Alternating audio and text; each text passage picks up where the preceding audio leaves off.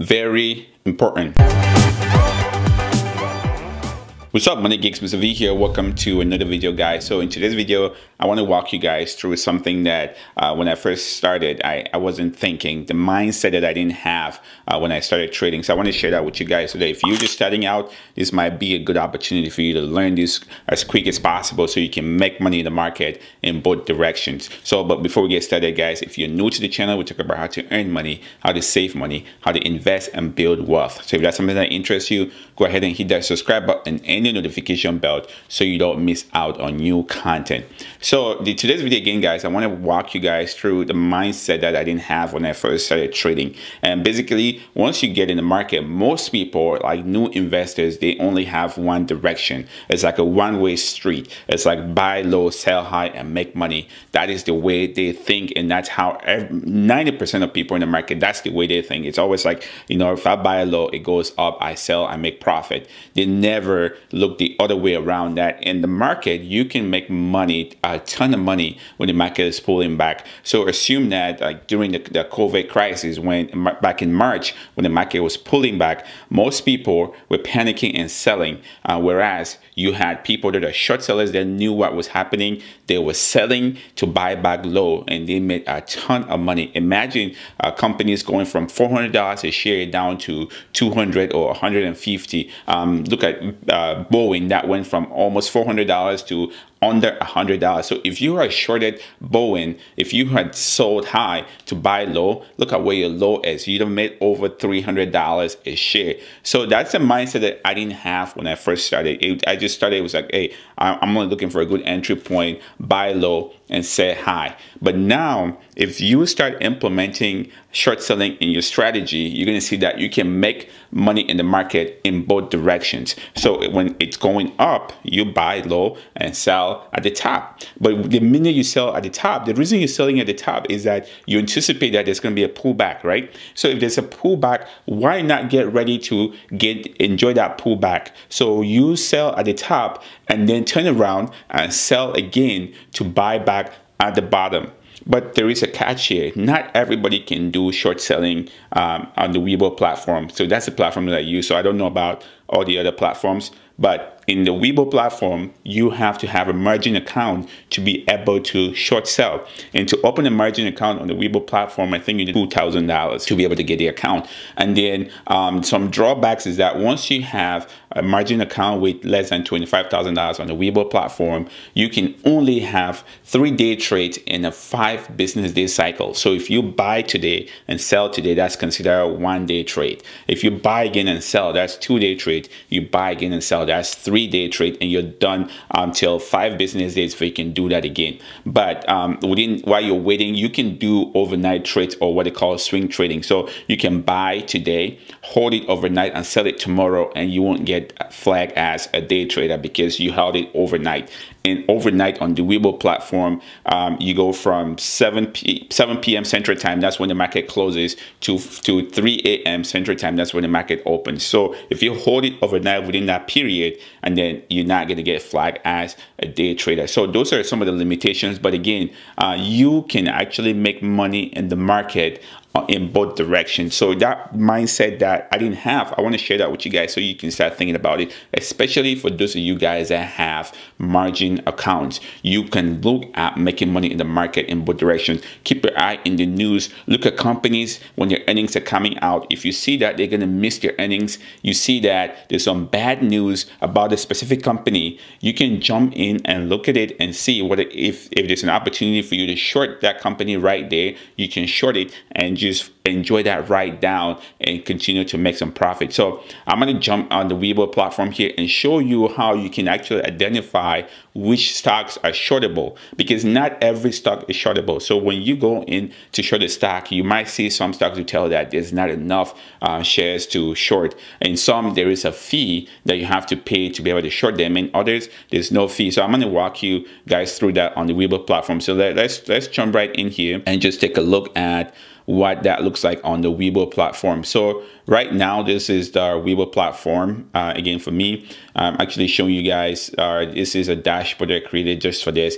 I have different dashboards that I have set up for my personal training, but I'm going to show you guys. So if you go under, um, you know, where it says trade, and then you go to your dashboard. You, if you look at this, it says quote. I'm gonna I'm gonna highlight this here so you guys can see where it says quote. And how to add this to your dashboard is you go to widget, and then go under stocks, and then go under quote right here it would add something like this to your dashboard so you can just pull this and put it right there. Since i already have it uh, there's no need for me to to include another one again. But once you add that what i want you to do is go to where it says set um, set as group. Click on that and then you can pick a group. So for me uh, I set everything to group one. So when I set the group one notice that it changes to Tesla because that is Tesla that I have open here. So if you look at all everything on here is set to group one. So I have group one group one group one. So that when I change this particular stock, let's say I switch the stock to something else,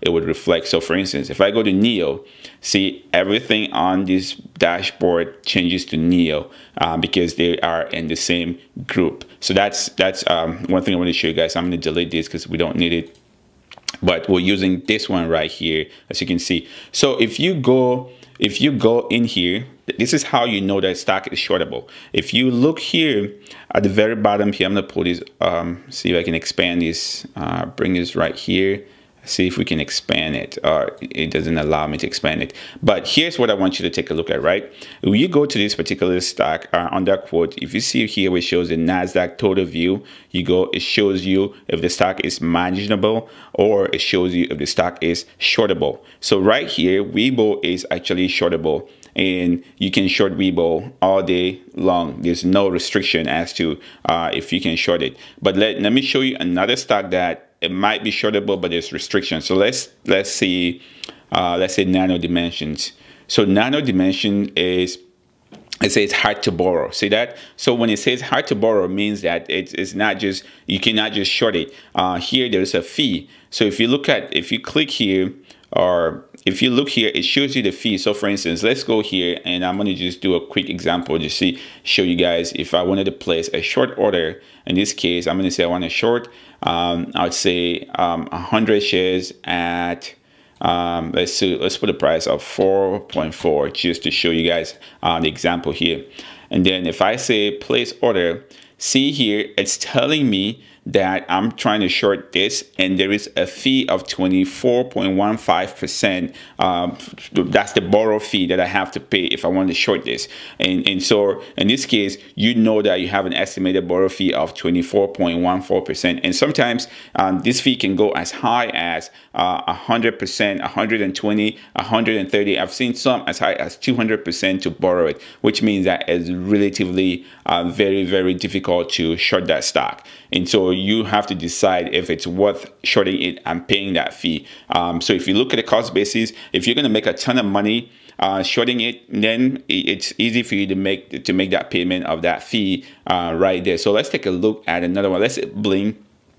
Uh, same thing here with Blink. Blink has, uh, so if you can see here, has an estimated borrow fee of 54.05 uh, percent. So that's this is where you go to see if a stock is shortable or not. Most people, um, the all they do is they try shorting the stock and then it tells them like you know there's a fee. That's what they realize. But on the Webull platform, this is where you go to figure it out to see if the stock is shortable or not. So again, guys, this is uh, something I wanted to share with you guys because um, in the market you can make money in both directions. It doesn't. You just don't have to uh, focus solely on making money on, on, the upside. You can make money on the downside, especially if you are trading. Uh, for investors, you don't have to worry about this. Investors, your goal is to buy low as as low as possible and just let it ride. Um, again, I've done a video here where we talked about uh, who an investor is, who a swing trader is, and who a day day trader is. So I'm going to hook that video up here. If you haven't already, you can definitely go check it out. But if you fall in the category of a, a, a trader, which means that you buy and sell frequently,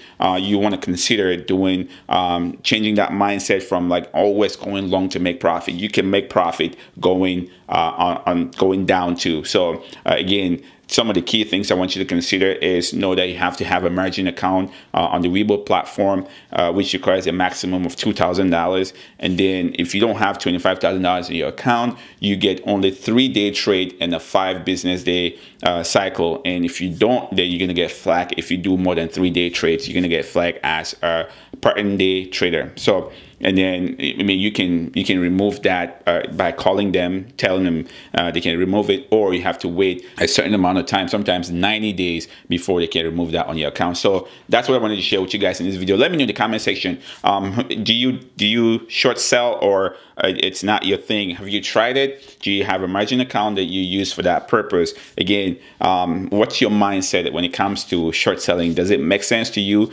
Again, again, short selling is a process of making money in the stock market when things are going south. So if you see the price of the stock dropping, short sellers are making money. So you buy, you sell high and then buy low which is the reverse which is again i'm saying like that's the mindset we have is always buying low and selling high in this case you're selling high and then buying back low to make profit. Um, if you're new to the channel guys we talk about how to earn money how to save money how to invest and build wealth. So if that's something that interests you go ahead and hit that subscribe button and, and the notification bell so you don't miss out on new content. And also uh, during this period Webull is doing a promotion right now where if you sign up and deposit hundred dollars you get four free stocks, not one, not two, not three, four free stocks, guys. This is absolutely insane. Take advantage of this. I'm gonna put the links in the description below.